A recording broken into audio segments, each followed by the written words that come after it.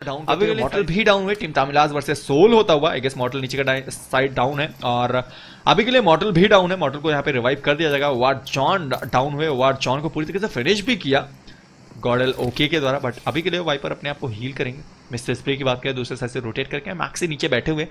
Team तमिलास के भी दो मेंबर डाउन है और दो मेंबर उनके भी डाउन है। सोल सांगवान पूरी तरीके से फिनिश हुए मैक्सी के द्वारा।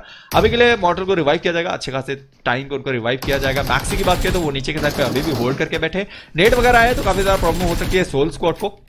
सामने भी तीन मेंबर ज़िंदा हैं और इनके पास भी तीन मेंबर ज़िंदा है। एक मेंबर को रिवाइव किया जा रहा है। मैक्सी की बात करें, अभी भी नीचे के साइड पे थोड़े से फुट स्टेप्स वगैरह सुनाई दे गए होंगे। अभी के लिए स्ट्राइकर को रिवाइव किया जाएगा। स्ट्राइकर ही रिवाइव यस स्ट्राइकर रिवाइव हो चुके हैं। कैरी अभी भी ब्लिड आउट होते हुए नज़र आ रहे हैं। गॉडल स्कॉट काफ़ी ज़्यादा क्लोज है। वो भी मे भी थोड़े बहुत शॉर्ट देने की कोशिश कर सकती है। वाइपर एक नेड उन्होंने किया था बट कंफर्म नहीं कर पाए। मॉडल अभी भी ऊपर के साइड पे मिस्टर स्पीड को मे भी स्पॉट कर सकते हैं। गॉडल क्रॉन्टन वहाँ पे ड्रॉप लूटते हुए नज़र आएँगे। स्ट्राइकर डाउन हुए वाइपर के।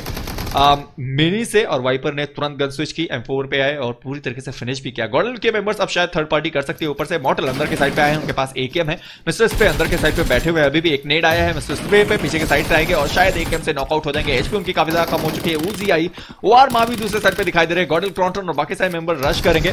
बाकी रेवन के दो मेंबर बाहर के साइड पे काफ़ी ज़्यादा प्रॉब्लम तो होने वाली है? बढ़िया स्प्रे आता हुआ। ऊजी का मैक्सी को डाउन किया और अभी के लिए टीम तामिलास का केवल एक आखिरी बंदा बचा हुआ ऊपर जाना पड़ेगा।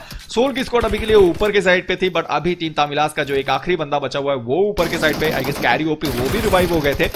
अकेले बच्चे अपनी टीम से वाइपर की बात करें तो थोड़े बहुत शॉट्स उन्होंने कनेक्ट किए थे फेनेटिक एक्सवाइजर डाउन हुए एम शैडो के द्वारा।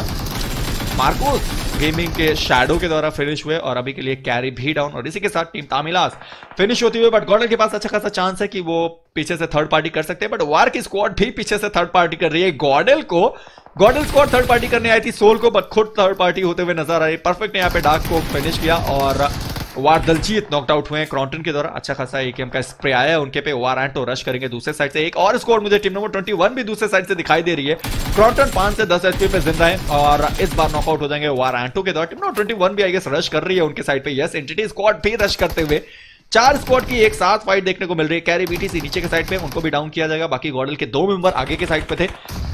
एक नोट नेट की कुक किया है फेरेटिक की स्क्वाड भी एलिमिनेट हो चुकी है। कैरी को पूरी तरीके से फिनिश किया स्मोकी अंदर के साइड पे नेड किया है। गॉडल ओके बहुत ज़्यादा प्यारा नेड वाइपर के द्वारा और नॉकआउट आउट हुए एंटिटी स्क्वाड को अभी के लिए देखना पड़ेगा। वो किस तरीके से रश करते हैं। एक और नेड आया रेगल्टोस यहाँ पे नेड करने की कोशिश की है बट मॉटल डाउन करते हुए क्लच गॉड को एंटिटी स्क्वाड थोड़ी सी प्रॉब्लम आ सकती है। थोड़ा सा उनके पास रेज एडवांटेज है तो सही बट गॉड की पूरी स्क्वाड एलिमिनेट होते हुए बाकी वार की बात करें तो एंटिटी को उन्होंने स्पॉट किया। है